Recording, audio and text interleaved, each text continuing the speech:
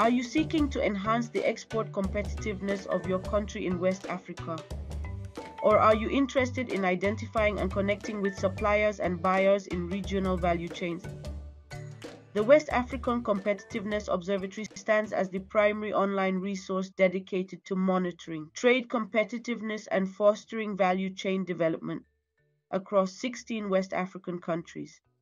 It includes three modules related to trade competitiveness, regional value chains, and business matchmaking.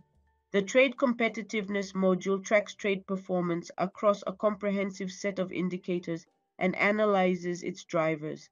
It shows scores which allow to assess trade competitiveness of each West African country.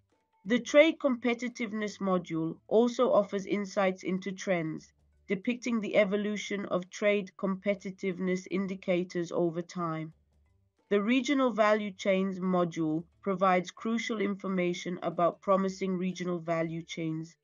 Maps display which West African countries can participate in a value chain, either by providing the necessary inputs or producing the final product. The trade flows chart shows to which markets West Africa is currently exporting its products to, and further graphs highlight opportunities to export to the region and beyond. Finally, the Business Matchmaking module empowers businesses to connect with buyers and suppliers in the region.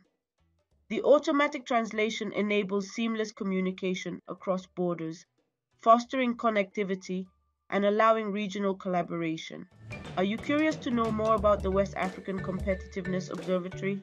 Visit our website at wacomp-observatory.org